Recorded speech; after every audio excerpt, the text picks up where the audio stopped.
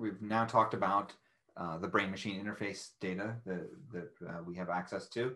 And now it's time to uh, do our first uh, bit of modeling in this area. Right, let's transition to our Jupyter lab uh, setup here. So I've uh, gone ahead, we're still working in the same environment as before. So the data are already loaded up. And one thing that I like to do in each of the examples is to be very explicit about what the inputs are uh, to our model and what our expected outputs are going to be. So, so you'll see me define that for every model that we're learning. Uh, here we're pulling out uh, the position information. This is the zeroth column, which is the shoulder position. Our inputs uh, are coming from the, fold zero as well for our uh, neural data. scikit-learn has uh, built in a linear regression class that uh, performs this matrix inverse uh, approach to uh, solving for the parameters of a linear model. So that's the normal equation that we uh, talked about a couple of videos ago. And it subscribes to the standard uh, interface for our models. So we can explicitly tell our model to fit uh, a set of data and we provide the inputs and the outputs and, and that's it, and it goes to work.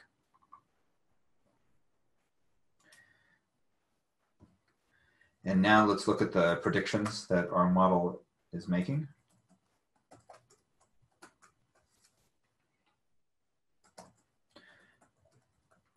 And let's look at the shape of, of the predictions. So remember, we're uh, predicting a, a scalar value, and there's one prediction for each of the 1193 samples. So here's some code to uh, do our plotting. We're going to plot uh, our ground truth uh, in red and our corresponding predictions in green. Let me execute that.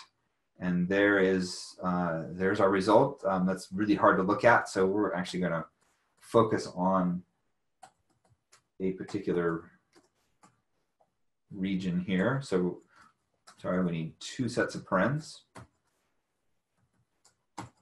So we're looking at the 20 to, to 40 second range here. And, and what you'll see is that the green curve follows along the red curve pretty darn well. There are a few places where there's some, some errors, but uh, other than that, uh, it tends, tends to follow red pretty well. Um, one other thing to note is that there are certain places like, like in this region where the red curve is nice and smooth, but the green curve is uh, is, is a little bit bumpy. It extends up a little bit right there. And then here, uh, even though red is staying relatively constant, green is sort of bouncing around. And, that, and that's not uh, uncommon for the way we've set this up, uh, but it is certainly undesirable in the long run.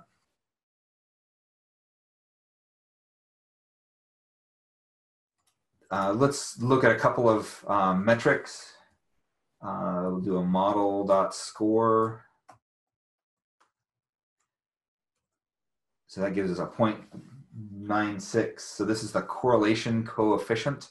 So this is our uh, R uh, metric. Uh, so this, this measures how, how well uh, the ground truth and the predictions are, uh, are, are, correlated with one another.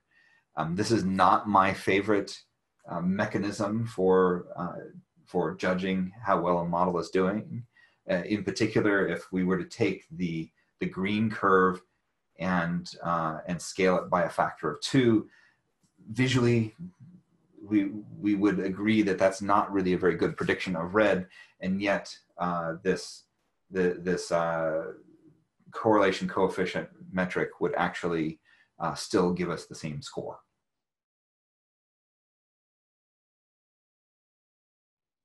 We'll we'll talk about some other um, mechanisms here in just a second, but I did want to look inside of uh, inside of the model. So, for example, we can ask what the uh, bias term is. So there's there's our bias. Um, we could also look at the individual coefficients, um, but there are 960 of those. Uh, let's just verify that. So there, there's our that W uh, parameter there.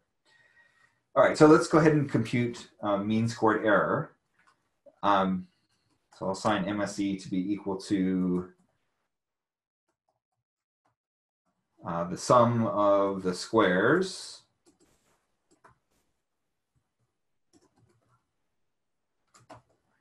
and we want to tell the difference between our the ground truth outputs and the predicted values. That that gives us this gives us some squared error, so we also need to uh, divide by the number of samples that we have, and that's and that's just the the zeroth component of the shape of outs.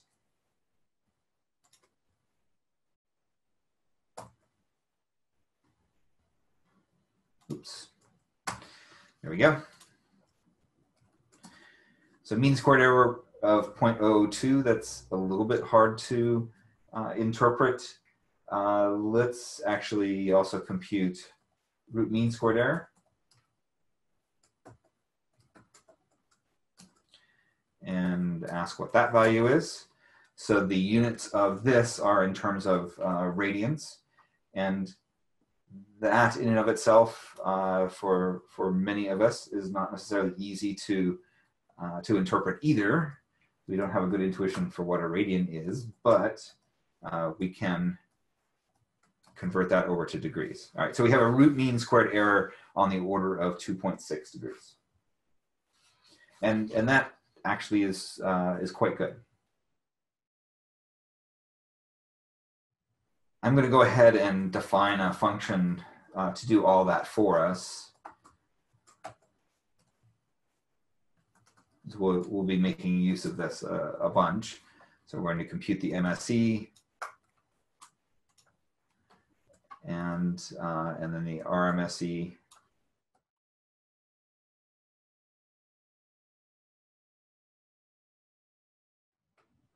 And we're going to return uh, three items, MSE, RMSE, and, and our conversion over to uh, degrees. And th this turns out to work uh, whether we are working in uh, radians or radians per second. So this will work for both our position and our velocities. Okay, so the next uh, obvious question is how does this do with data that we haven't used for the training process. So let's test uh, with uh, an independent fold. And give me one second to pull out, to pull up the code for that. All right, so we're, we're pulling out uh, inputs and desired outputs from fold one now, uh, as well as uh, the, the timestamp information uh, for, for that fold. And then the final step, we're actually asking the model that we've already learned to make some predictions given the set of inputs. And now we can ask uh, my eval how, uh, how well we're doing. So outs two and pred two. So this is uh, MSE, this is RMSE, and this is RMSE in degrees. And we've gone now from a, uh, a two uh, degree error up to a 13.5 degree error. And that may not seem like a lot, but it is a pretty substantial uh, bump up in terms of error. So now let's uh, actually plot the result here. So looking at these metrics is quite informative, but it's again, it's really important to make sure that you're getting into the data and getting an intuition as to how well your models are doing. Uh, what I've left off is that I'm referring to the wrong uh, vectors for time. There we go. And in fact, let's, let's zoom in a little bit more here.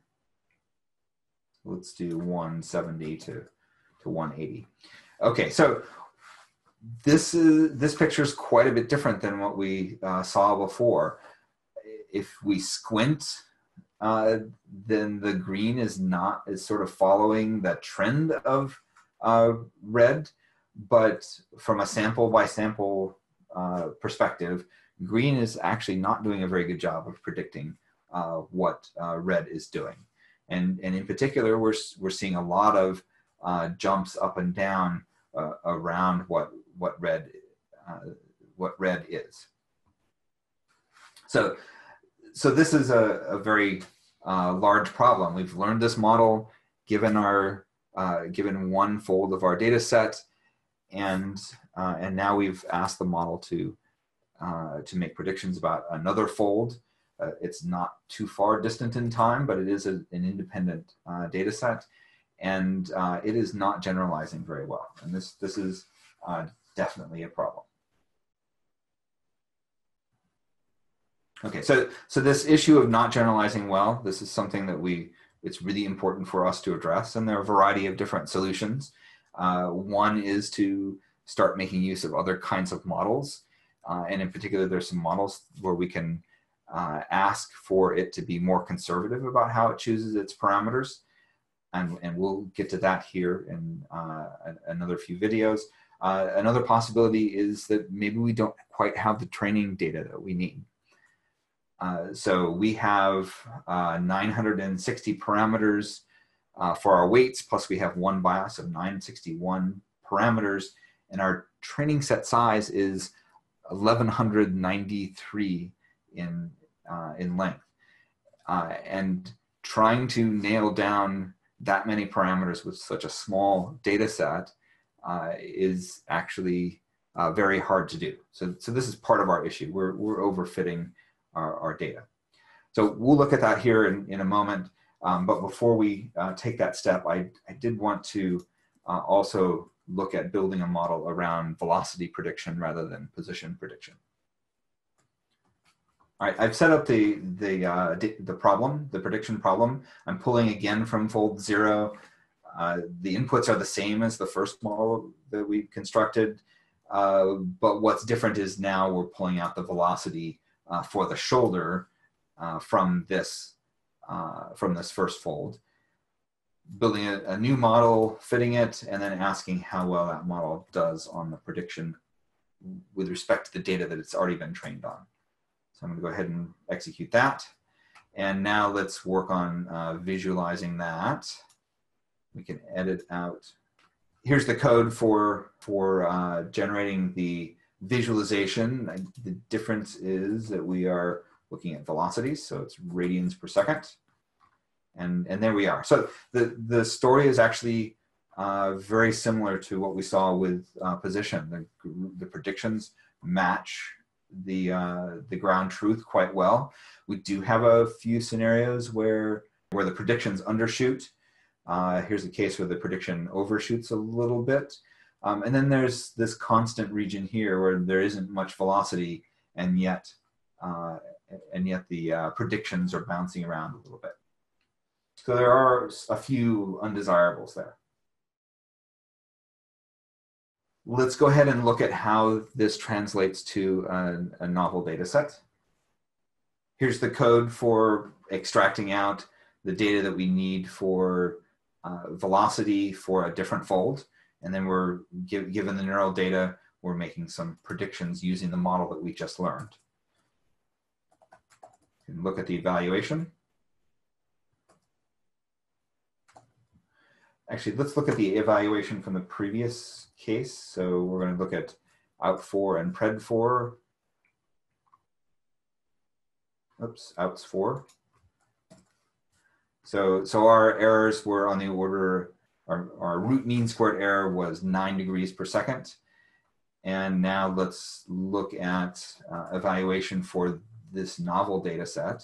So, that, so data set four was uh, data that we trained the model on.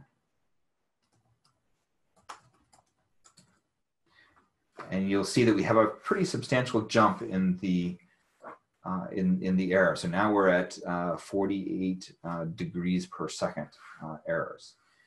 Let's see what that looks like uh, visually here. So, so here is uh, second 170 to second 180.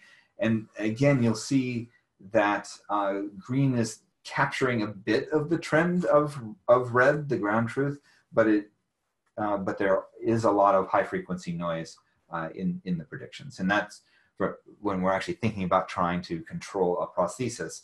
that's uh, quite unacceptable. This is our first attempt at building some models with the brain-machine interface uh, data set. Uh, we, we were trying a very simple problem of training up the data with us, training up the models with very small data and then asking how well it generalizes. And, and what we saw is that uh, generalization is not all that good at this point in time. Uh, we were using the, uh, the linear regression um, mechanism that's built into scikit-learn. That is solving for your parameters uh, using the direct method. So uh, next up, we're going to look at using a gradient descent method. Um, uh, and then we'll start talking about ways to make our models more robust. So that's coming soon.